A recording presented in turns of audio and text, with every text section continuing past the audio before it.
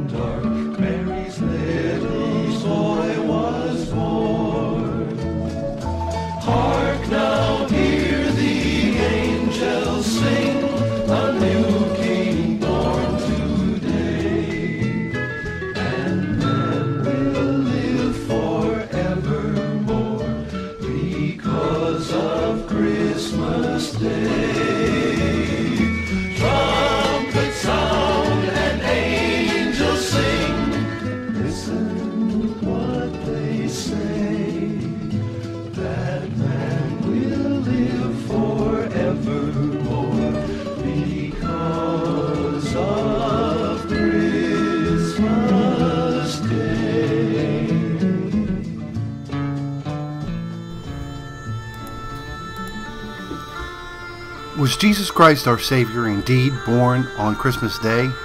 Or do the songs and the traditions have it wrong? Can we piece together from Scripture, from history, and even from science the mystery of what date Jesus Christ was born on? We believe we can, and the answer may surprise you. Listen closely as we build for you the case for December 25th of 2 BC. Now we know that in the end, the birth date of Jesus has no weight on your salvation, be it on December 25th or September 11th, as some have suggested. However, we hope this special will remove some doubts you may have and help you understand that the birth of Jesus Christ is a historical fact. We pray that that realization will be a life changing epiphany. When trying to establish that which is historically in question, we must begin with what we know to be historically established fact. For this purpose, we start our journey on the 9th of Av, 70 AD. The Jewish fast date of Tisha B'Av commemorates the destruction of the temples in Jerusalem, both the first and second temples. Both were destroyed on the 9th of Av, first in 587 BC and the second in 70 AD. It was after the destruction of the first temple and building of the second that the first of the 24 priestly courses was set to commence on Tisha B'Av. The siege on the Second Temple was the bloodiest in human history. The Jewish historian Josephus lamented that the Roman soldiers actually had to navigate mounds of dead bodies to continue their extermination. In the end, more than one million were killed men, women, children, priests. All were exterminated, just as the Bible had foretold. But when you see Jerusalem surrounded by armies, then recognize that her desolation is near. Then those who were in Judea must flee to the mountains, and those who were in the midst of the city must leave, and those who were in the country must not enter the city, because these are days of vengeance, so that all things which are written will be fulfilled. Jerusalem, Jerusalem, you who killed the prophets and stoned those sent to you, how many times I yearned to gather your children together, as a hen gathers her young under her wings, but you were unwilling. Behold, your house will be abandoned, desolate.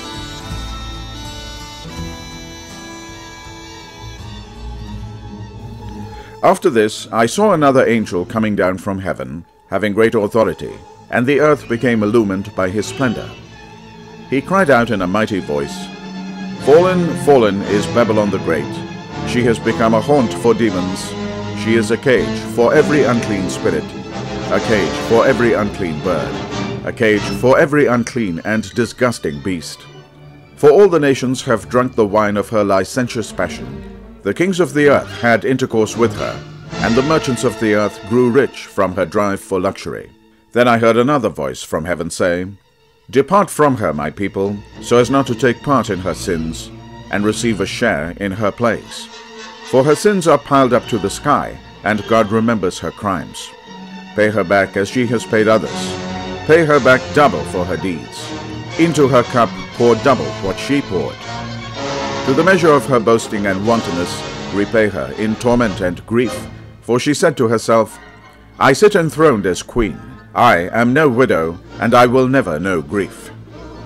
Therefore her plagues will come in one day, pestilence, grief, and famine. She will be consumed by fire, for mighty is the Lord God who judges her.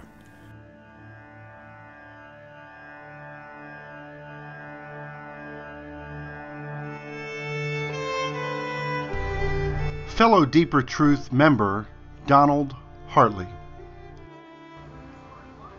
Well, we're going back to the siege of Jerusalem that took place in 70 AD when the Romans finally was able to take control of uh, the the area and Jerusalem was the last holdout or one of the last holdouts uh, of defiance against uh, Rome and I suppose there were many within the walls of Jerusalem who was trusting that God would deliver them and save them, but that's not what Jesus promised or prophesied. Jesus said it would fall, and it did in 70 AD. And Josephus, the one of the Jewish historians of the time, relates that the uh, capture of Jerusalem was brutal that just about every able bodied man was taken and crucified along the roads leading to Jerusalem. And this crucifixion, the, the mass of it, was like a forest. The bloodshed was, was horrendous. And unfortunately, many Protestants today are preparing for such an event now. But um, you know, but this has already happened. At least in the biblical sense, it has already happened. And this happened on what we know as the ninth of Av. The destruction of Jerusalem and the temple took place at the very same day that Babylon overtook Jerusalem and went into and desecrated the temple. 587 BC. And 70 AD are both uh, simultaneously at the same on the same day uh, taken over and desecrated. And that both of them were prophesied one by Daniel Daniel the prophet prophesied it uh, the first time around and then Jesus prophesied it the second time around. And this is very important as to knowing the day that uh, we utilize this as uh, knowing the day in which Jesus was born Donald does not overstate the case, for in knowing that the temple schedule was reset to begin on the 9th of Av is critical. You see, you find the original schedule of the priestly courses in 1 Chronicles chapter 24. The first course, Jehoiarib, starts at the beginning of the Jewish calendar year, 1 Nisan. It is knowing that these priestly courses were rescheduled that keeps us from making the mistake that many evangelicals do today by referring back to the original schedule. In the days of Herod, king of Judea, there was a priest named Zechariah of the priestly division of Abijah. His wife was from the daughters of Aaron, and her name was Elizabeth. Both were righteous in the eyes of God, observing all the commandments and ordinances of the Lord blamelessly. But they had no child, because Elizabeth was barren, and both were advanced in years.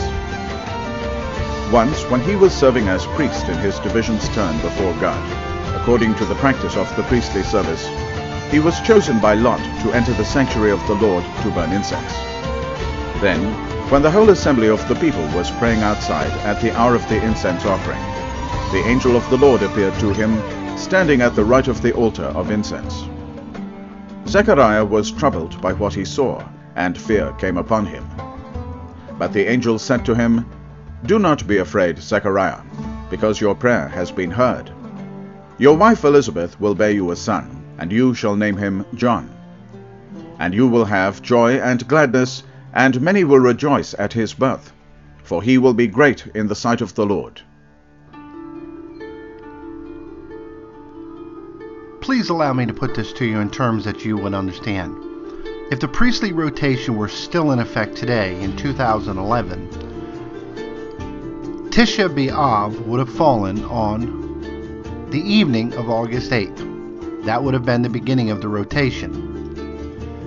The course of Abijah, the course that Zechariah belonged to, would have then started their service on September 26th of 2011. In the sixth month, the angel Gabriel was sent from God to a town of Galilee called Nazareth, to a virgin betrothed to a man named Joseph of the house of David. And the virgin's name was Mary. And coming to her, he said, Hail, favored one, the Lord is with you. But she was greatly troubled at what was said, and pondered what sort of greeting this might be. Then the angel said to her, Do not be afraid, Mary, for you have found favor with God. Behold, you will conceive in your womb, and bear a son, and you shall name him Jesus. The sixth month would have ended on about March 25th, when the angel Gabriel appears to Mary and announces that she will bear a son. Adding nine months for Mary's pregnancy, we arrive, of course, at about December 25th. And she gave birth to her firstborn son. She wrapped him in swaddling clothes and laid him in a manger, because there was no room for them in the inn. Now there were shepherds in that region, living in the fields, and keeping the night watch over their flock. The angel of the Lord appeared to them, and the glory of the Lord shone around them, and they were struck with great fear. The angel said to them, Do not be afraid, for behold, I proclaim to you good news of great joy that will be for all the people. For today in the city of David a Saviour has been born for you, who is Messiah and Lord. And this will be a sign for you. You will find an infant wrapped in swaddling clothes and lying in a manger. And suddenly there was a multitude of the heavenly host with the angel, praising God and saying, Glory to God in the highest, and on earth peace to those on whom his favor rests. When the angels went away from them to heaven, the shepherds said to one another, Let us go then to Bethlehem to see this thing that has taken place, which the Lord has made known to us. So they went in haste, and found Mary and Joseph and the infant lying in the manger. When they saw this, they made known the message that had been told them about this child. All who heard it were amazed by what had been told them by the shepherds.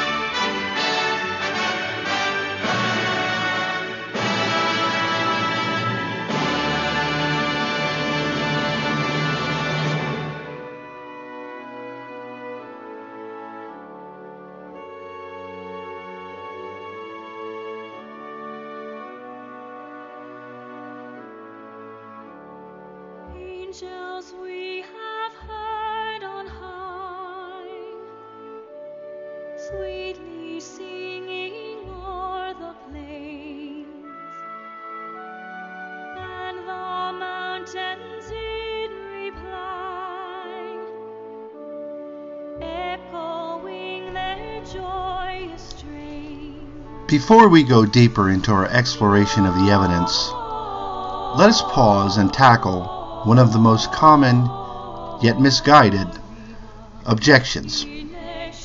There are those who claim that it is impossible for Jesus to have been born in December because the census wouldn't have been held in December because of the winter, and it would have been impossible for the sheep to be guarding their flock by night around the hills of Bethlehem. The fact of the matter is that the city of Bethlehem is a mere seven miles from the city of Jerusalem. The average high temperature for December in the city of Jerusalem is 57 degrees. The average low temperature is 42 degrees. Further, in the latter part of December, the rains break, and the fields around the town of Bethlehem in the hills are covered with lush, green grass, perfect for grazing sheep.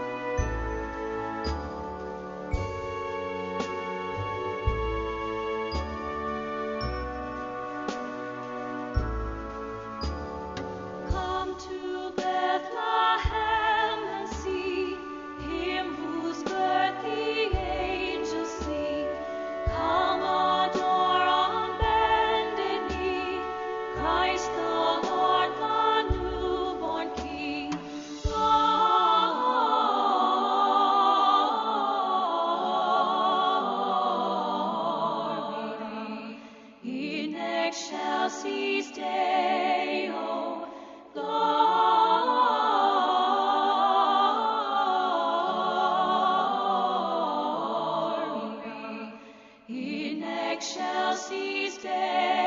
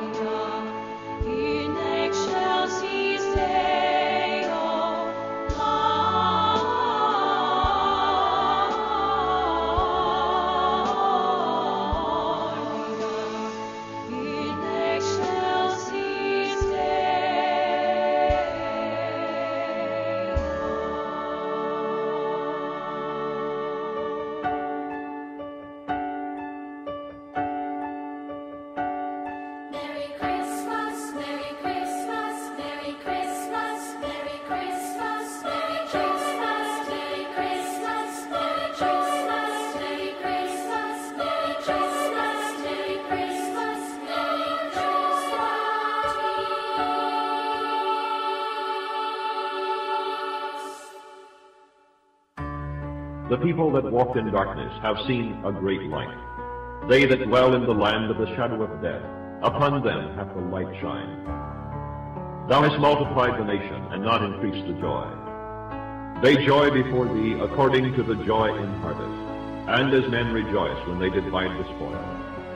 For thou hast broken the yoke of his burden, and the staff of his shoulder, the rod of his oppressor, as in the day of Midian. For every battle of the warrior is with confused noise, and garments roll in blood. But this shall be with burning and fuel of fire. For unto us a child is born, unto us a son is given, and the government shall be upon his shoulders, and his name shall be called Wonderful, Counselor, the Mighty God, the Everlasting Father, the Prince of Peace. Of the increase of his government and peace there shall be no end.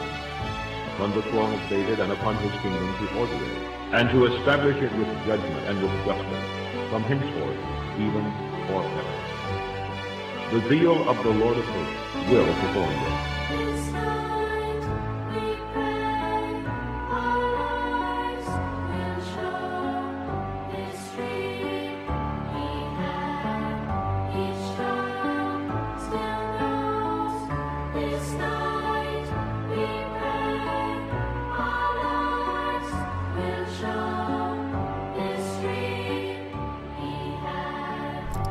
Order to delve further into trying to establish the date of the birth of Christ, it is helpful to try and establish the year of the birth of Christ. There are some clues in the Gospels that are very helpful for doing this. The first is in Luke chapter 3. In the fifteenth year of the reign of Tiberius Caesar, when Pontius Pilate was governor of Judea, and Herod was tetrarch of Galilee, and his brother Philip, tetrarch of the region of Iturea and Trachonitis, and Lysanias was tetrarch of Abilene, during the high priesthood of Annas and Caiaphas, the word of God came to John, the son of Zechariah, in the desert. We start by establishing the beginning of the reign of Tiberius Caesar. Now, Tiberius Caesar co reigned with Augustus for two years. Then, on August 19th of 14 AD, Caesar Augustus died. Approximately a month later, Tiberius was officially pronounced Caesar. So, this means, chronologically speaking, the beginning of the first year of Tiberius Caesar was September 15th, 14 AD. But that's not the way Luke is counting it. What Luke does here is what's known as common ascension dating. It was one of the most common methods of dating the reign of a political figure.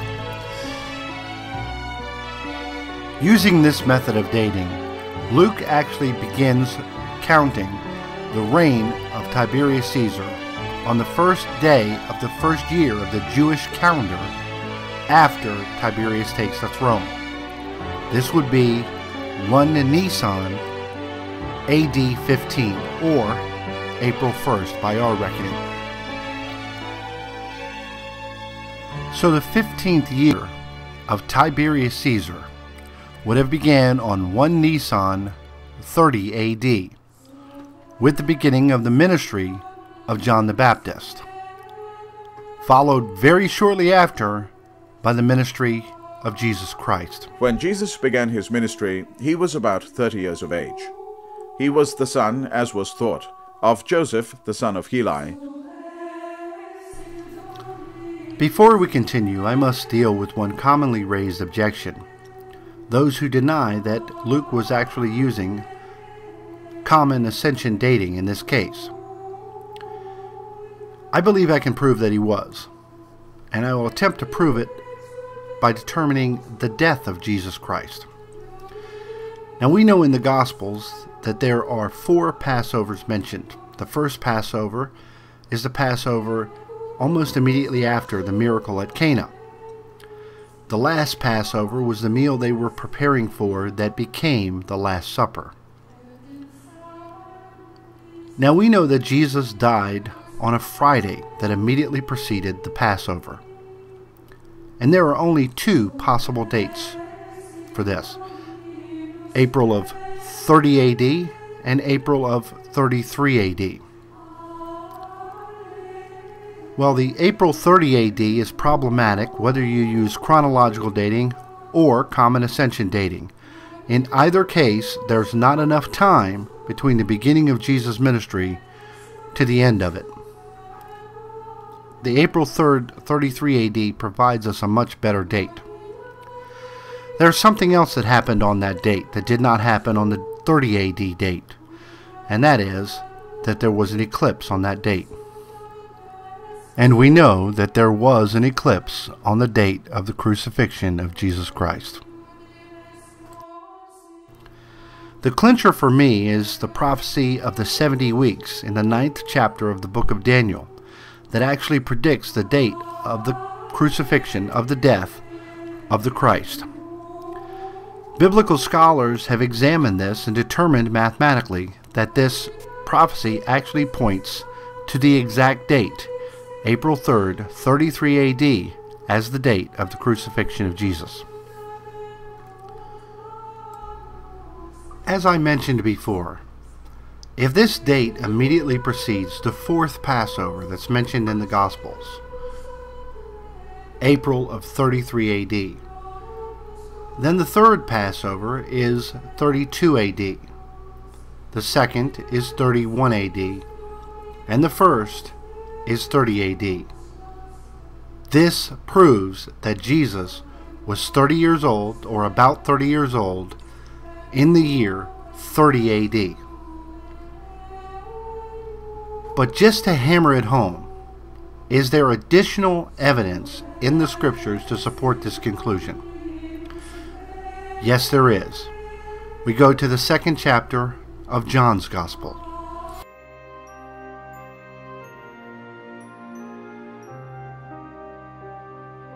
Since the Passover of the Jews was near, Jesus went up to Jerusalem. He found in the temple area those who sold oxen, sheep, and doves, as well as the money changers seated there. He made a whip out of cords and drove them all out of the temple area with the sheep and oxen, and spilled the coins of the money changers and overturned their tables. And to those who sold doves he said, Take these out of here, and stop making my father's house a marketplace. His disciples recalled the words of Scripture, Zeal for your house will consume me. At this the Jews answered and said to him, What sign can you show us for doing this? Jesus answered and said to them, Destroy this temple, and in three days I will raise it up. The Jews said, This temple has been under construction for 46 years, and you will raise it up in three days?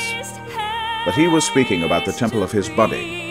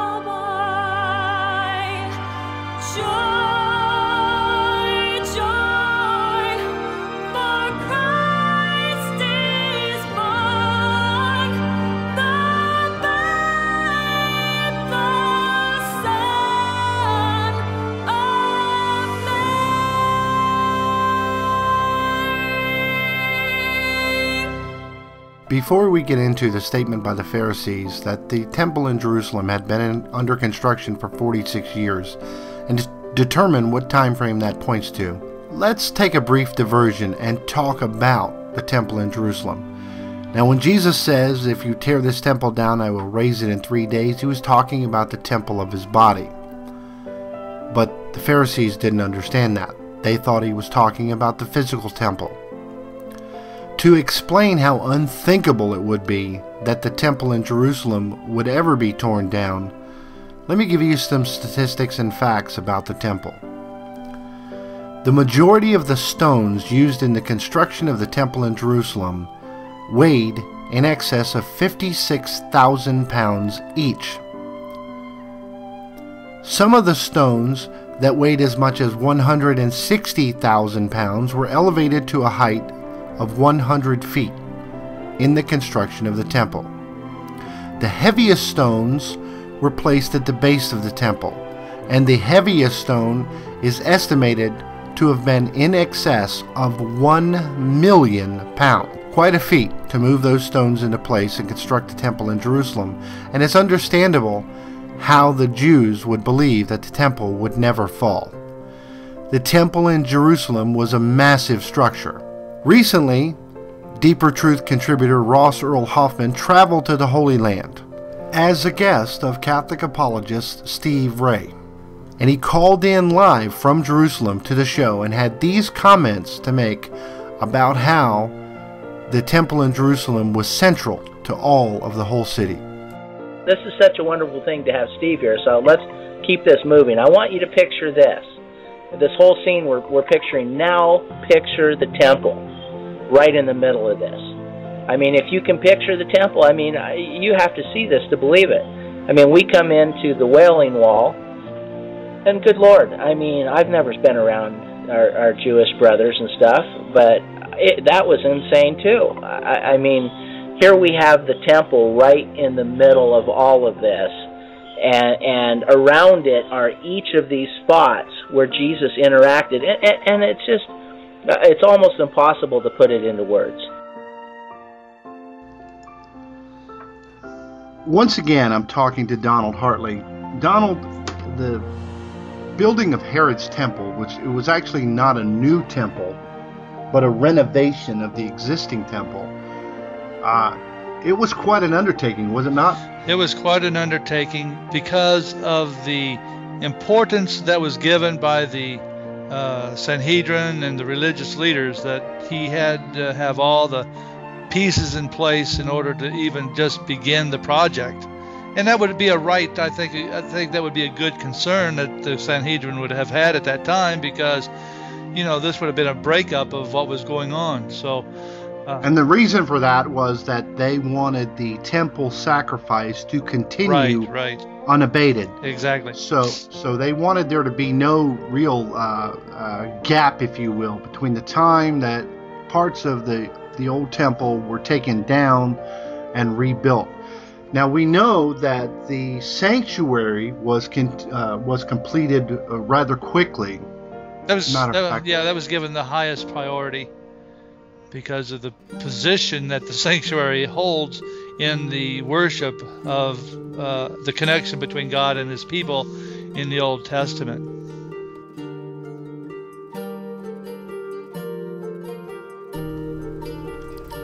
The construction of the temple itself, however, was something different. 1,000 carts of stone had to be accumulated, and 1,000 priests had to be trained to be stone cutters. This would have taken a considerable amount of time. But just how long remains unclear. At what time did the actual building of the temple commence? Well, the Jewish website jewishmag.com actually gives us a hint in telling us that the temple stood for a total of 80 years, Herod's temple, being completed in 64 AD.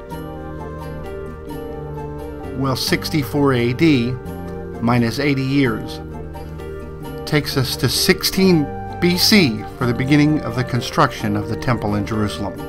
After moving forward the 46 years prescribed by the Pharisees, we arrive again at 30 AD. Dr. Gregory Thompson of Deeper Truth. Uh, Dr. Greg, some people may be confused with us saying that he was born in December of 2 BC, how that adds up to uh, 30 years old and 30 AD. Uh, could you explain, please?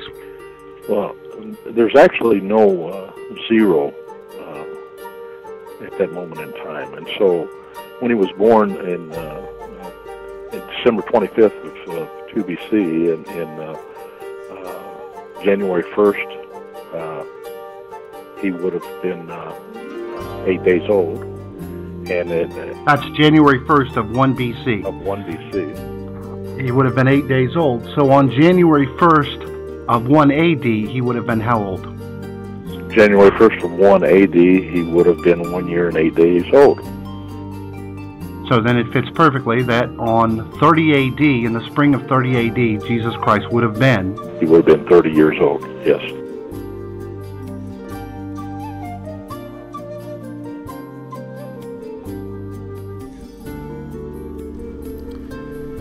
So we have established pretty definitively that Jesus was about 30 years old in 30 AD, and therefore was born early in the year 1 BC or late in the year 2 BC.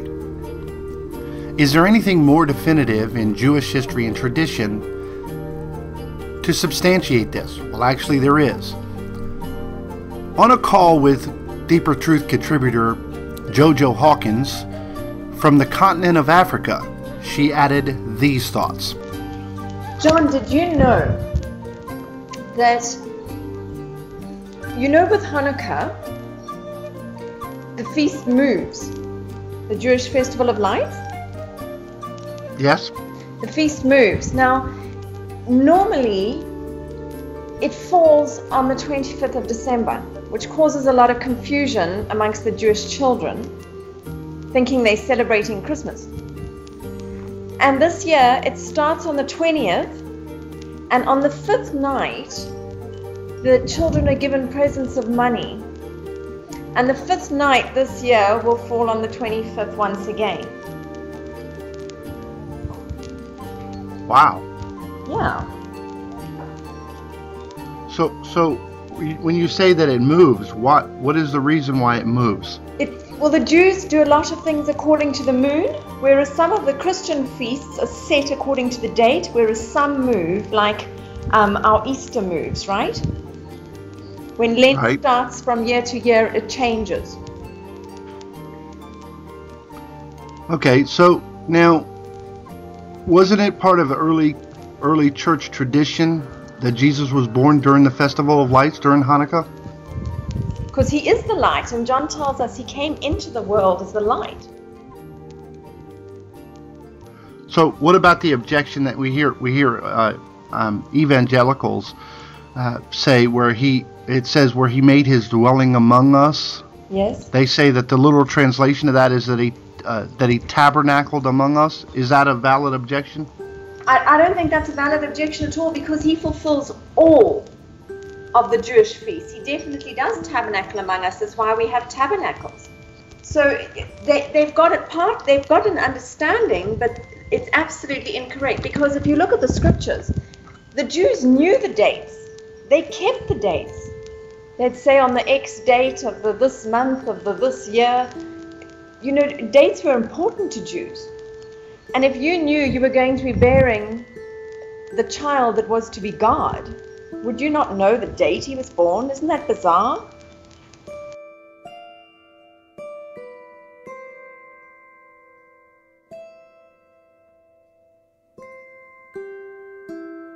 The late Father William Most establishes the death of Herod the Great as having occurred in 1 BC, and does so based on referencing the book The Star That Astonished the World by E.L. Martin. Quoting Father Most, quote, The date of the birth of Christ hinges on just one thing the statement of Josephus, Antiquities 17:6 to 8, that Herod died shortly after an eclipse of the moon. Astronomers supply the dates for such eclipses around those years, none in 7 or 6 BC, in 5 BC, March 23rd, 29 days to Passover. Also in 5 BC, September 15th, 7 months to Passover. In 4 BC, March 13th, 29 days to Passover.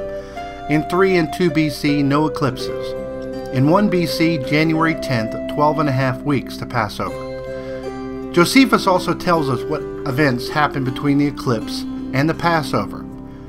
He quotes Martin's book, pages 85 to 87. They would occupy probably about 12 weeks. Martin also shows that the eclipse of September 15th, 5 BC could not have fit with known data, especially the fact that Herod was seriously ill in Jericho, over 800 feet below sea level, when the eclipse happened. But Jericho was a furnace of heat at that time. September 15th, Herod would not have stayed there when he could have had the much better climate of Jerusalem. But if the eclipse was in midwinter, January 10th, Herod would find Jericho comfortable.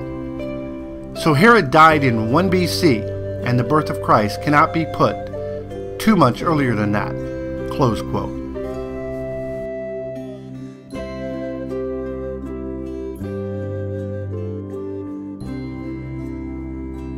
The Jewish historian Josephus gives two indications of the length of the rule of Herod. A. He says Herod had a reign of 37 years from the time he was proclaimed king by the Romans, and B. 34 years after the death of Antigonus, which happened just after Herod took Jerusalem. Herod took Jerusalem late in 36 BC. Josephus said Herod's siege of Jerusalem was during a sabbatical year, and 36 was a sabbatical year. Otherwise, we would need to be seven years before or after 36 BC. Also, all sabbatical years ended on Yom Kippur. Josephus said Herod's capture of Jerusalem coincided with Yom Kippur. He and the Jews would remember it well, for it was an outrage to press a siege on Yom Kippur. Josephus said it was 27 years to the day that Pompey committed his abominations, which he did in 63 BC. This gives again 36 BC for Herod's capture of Jerusalem. If we use the common accession method of counting years of rule, the date to start his 34 years is the 1st of Nisan, 35 BC. So Herod's 34th year of rule would start with the 1st of Nisan in 2 BC and end with the 1st of Nisan in 1 BC. Now, 34 years after 35 BC would give 1 BC for the death and the end of Herod, his death soon after the eclipse of January 10th, 1 BC.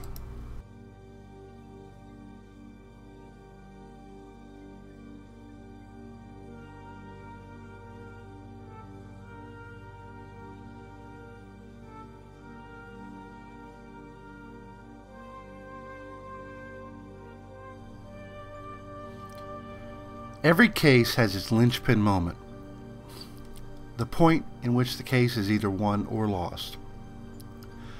We believe that we have proven that Jesus Christ was indeed born near the end of 2 BC, the beginning of 1 BC. And now we'll present the final piece of our puzzle, the piece that we believe proves Jesus Christ was born December 25th, 2 BC. When Jesus was born in Bethlehem of Judea, in the days of King Herod, behold, Magi from the east arrived in Jerusalem, saying, Where is the newborn King of the Jews? We saw his star at its rising, and have come to do him homage. When King Herod heard this, he was greatly troubled, and all Jerusalem with him. Assembling all the chief priests and the scribes of the people, he inquired of them where the Messiah was to be born. They said to him, In Bethlehem of Judea, for thus it has been written through the prophet. And you, Bethlehem, land of Judah, are by no means least among the rulers of Judah, since from you shall come a ruler who is to shepherd my people Israel. Then Herod called the Magi secretly and ascertained from them the time of the star's appearance. He sent them to Bethlehem and said, Go and search diligently for the child. When you have found him, bring me word, that I too may go and do him homage. Notice that Matthew says that Herod attempted to ascertain the point at which the Magi first saw the star at its rising. We believe this is a very important clue. And we believe that this happened in September of 3 BC, about the time that Zechariah was getting his message in the temple. From the website BethlehemStar.net. Jupiter, the name of the greatest god of Roman mythology, and the name of the largest planet of our solar system. Jupiter has been known from ages old to the present as the king planet. The greatest of planets is a gas giant, approximately 11 times the size of Earth and over 300 times more massive. It circles the Sun far beyond Earth in an orbit of about 12 years' duration. In ancient times, planets like Jupiter were considered wandering stars, since humans have assigned kingly qualities to this giant wanderer for dozens of centuries. Might it have had something to do with our star announcing the birth of a king? That will be our working theory. It's not enough to have a kingly name and reputation, of course. To be Matthew's star, Jupiter, as viewed from Earth, would have to do peculiar things. More precisely, as considered by a magus, viewing from the Middle East during the years 3 and 2 BC, Jupiter's movements would have to satisfy all nine identifying characteristics of the star. In September of 3 BC, at the time of the Jewish New Year, Rosh Hashanah, Jupiter began to do just that. A magus watching Jupiter that September saw two objects moving so closely that they appeared to touch. This close approach of celestial bodies is sometimes called a conjunction. Our Middle Eastern viewers saw Jupiter coming into a close conjunction with the star Regulus. Regulus takes its name from the word root which yields our word regal. The Babylonians called Regulus Sharu, which means king. Romans called Regulus Rex, which means king. So to start things at the beginning of the new Jewish year, the planet of kings met the star of kings. This conjunction may have indicated kingship in a forceful way to a Babylonian magus, satisfying one qualification for the star. But would it have startled him? Probably not. Jupiter glides slowly past Regulus about every 12 years. Let's assume our magus enjoyed a 50 year career, say from age 20 to age 70. We don't know how old the Magi were, but if our man was in the second half of his career, he might have seen such a pass two or three times before. Jupiter's orbit wobbles relative to Regulus, so not every conjunction is as close as the one he saw in 3 BC. Perhaps our magus recorded this event with some interest, but it is hard to imagine great excitement, not from this alone. But of course, there is more. The planets move against the field of fixed stars. From Earth, they appear to be active. For example, were you to watch Jupiter each night for several weeks, you would see that it moves eastward through the starry field. Each night, Jupiter rises in the east, satisfying a second star qualification. Each night, it appears to be slightly farther east in the field of fixed stars. All of the planets move like this. But the wandering stars exhibit another, stranger motion. Periodically, they appear to reverse course and move backward through the other stars. This may seem odd, but the reason is simple enough. We watch the planets from a moving platform, Earth, hurtling around the Sun in its own orbit. When you pass a car on the freeway, it appears to go backward as it drops behind. For similar reasons, when the Earth in its orbit swings past another planet, that planet appears to move backwards against the starry field. Astronomers call this optical effect retrograde motion. In 3 2 BC, Jupiter's retrograde motion, wandering, would have called for our Magus's full attention. After Jupiter and Regulus had their kingly encounter, Jupiter continued on a path through the star field. But when it entered retrograde, it changed its mind and headed back to Regulus for a second conjunction. After the second pass, it reversed course again for yet a third rendezvous with Regulus, a triple conjunction.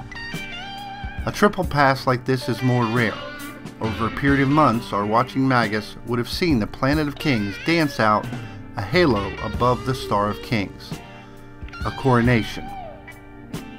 Jupiter's interesting behavior may explain the kingly aspect of the star, but there are nine qualifications of the Star of Bethlehem. Many are still missing. How did Jupiter's movement relate to the Jewish nation? Is its association with the Jewish New Year enough? Where is an indication of a birth? Some might say that the triple conjunction by itself would indicate to a Magus that a new king was on the scene.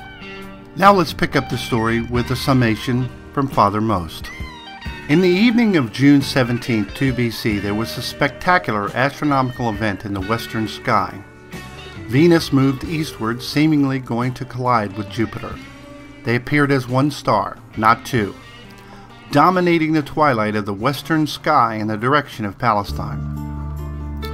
This conjunction had not happened for centuries, would not happen again for more centuries. Jupiter was considered the father, Venus the mother. Then, not many days later, Venus came within 0.36 degrees of Mercury. On September 11th came the new moon, the Jewish New Year. This happened when Jupiter, the king planet, was approaching Regulus, the king star. Further, there were three conjunctions of Jupiter and Regulus within the constellation of Leo the Lion, which was considered the head of the zodiac. Now Genesis 49:10 had foretold that there would always be a ruler from Judah, whom Jacob called the Lion, until the time of the Messiah. Leo was dominated by the star Regulus, which astronomers called the king star. The Magi, being astronomers and astrologers, would surely read these signs. The three conjunctions with Regulus were August 12, 3 BC, February 17, 2 BC, and May 8 to 9, 2 BC. In Hebrew, Jupiter was called Sadek, righteous, a term specially pertaining to the Messiah. On September 11th, Jupiter was close in the constellation of Virgo, the Virgin. On September 3rd of 3 BC, Jupiter was in conjunction with Regulus, the brightest star in the constellation of Leo. Leo the lion, which was associated with kings, and the lion of Judah, as foretold by the dying Jacob in Egypt in Genesis 49:10. On December 25th of 2 BC, Jupiter stopped for six days over Bethlehem. After their audience with the king, they set out. And behold, the star that they had seen at its rising preceded them, until it came and stopped over the place where the child was. They were overjoyed at seeing the star, and on entering the house, they saw the child with Mary his mother. They prostrated themselves and did him homage. Then they opened their treasures and offered him gifts of gold, frankincense, and myrrh. And having been warned in a dream not to return to Herod, they departed for their country by another way.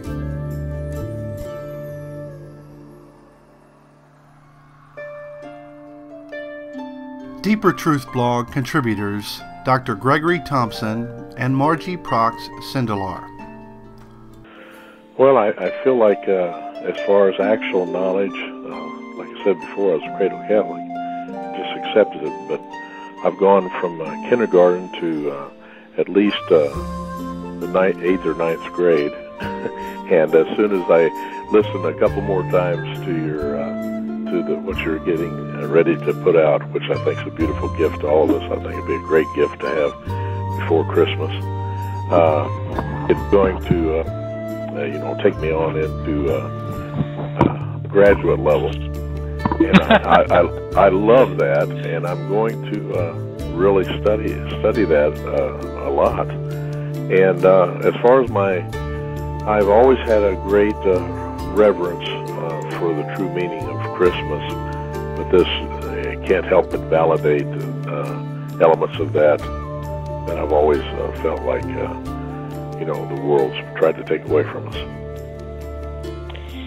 Well, listening tonight, uh, John, um, it just, the word wonder comes to mind. You know, when I think of uh, the incarnation and being in the Advent season, what a great time to to go through this like you did for us. And uh, it just makes me think about how almighty a God we worship. Um, you know, it, it, he just didn't randomly come on a particular day. Everything, everything he did, every you know, every moment, every backdrop, every uh, you know, everything has a meaning, and it and what a gift, um, you know, that we can now, two thousand years later, uh, go back and put it all together and, and look at the way the stars were, and it and it does, like you said, it, you can imagine what those shepherds, uh, you know, felt out there in that field, and uh, you know, the wise men. It brings new meaning to the song, uh, you know, the refrain, O star of wonder, star of might, westward leading, still proceeding. And, and like you said, it was going westward. Uh, so, uh, what a great uh, way to renew, um, you know, your childhood wonder in the Christmas season. Awesome.